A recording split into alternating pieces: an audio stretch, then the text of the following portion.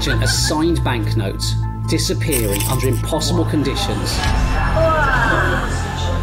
and reappearing in the most amazing location.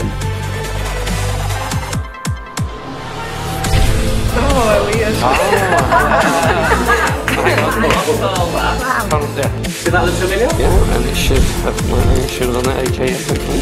Um, who's got a banknote I can borrow for a moment? Who's got some like sweet Uh, folding yeah. cash? Yeah. The big money. What have we got?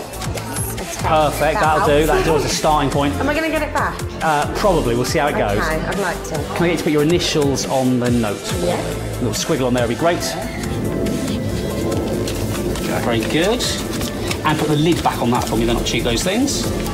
Take that back. Uh, can you put your hand palm down for me for a moment?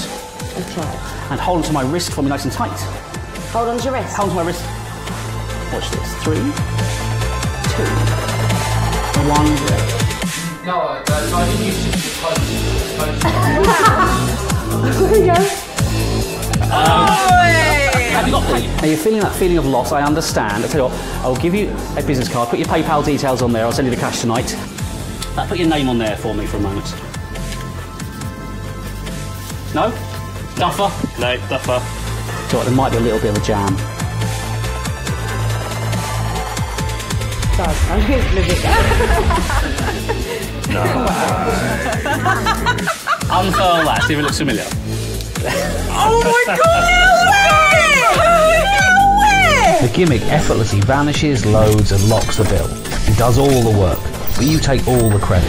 It's a beautiful item to hold. Um, thing looks sexy, just like me. It'll make magicians smile because of the cute and clever method, but it'll devastate your audience as well. I'm Noel Qualter. and this is Bliss.